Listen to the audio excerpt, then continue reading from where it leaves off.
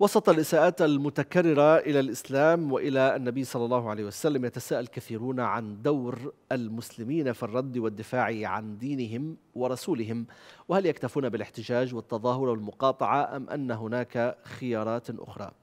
يقول الداعية الإسلامي الدكتور عمر عبد الكافي إن من يعبدون الأشياء والتماثيل والحيوانات من بقر وفئران وغيرها من دون الله لم يروا من أمة الإسلام محمدا في أخلاقهم ولا في سلوكهم حتى يرتدعوا عن الإساءة.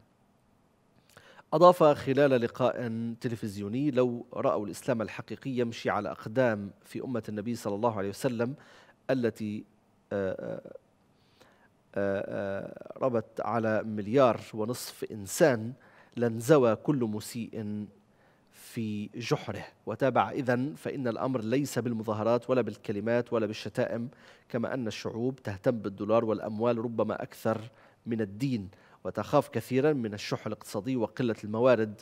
وهنا يأتي دور المقاطعة. ثم استدرك قائلا والقضية ليست قضية مقاطعة فقط وإنما علينا أن نبدأ في تصنيع ما نستورده من هذه الدول ونعمل ما نحتاج إليه من مهن وصناعات. وكما يقال من لم يكن رغيفه من فأسه لم يكن رأيه من رأسه.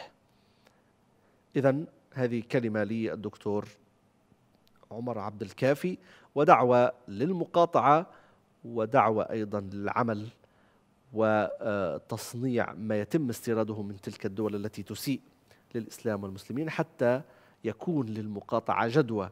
فهناك البديل والبديل يكون محليا.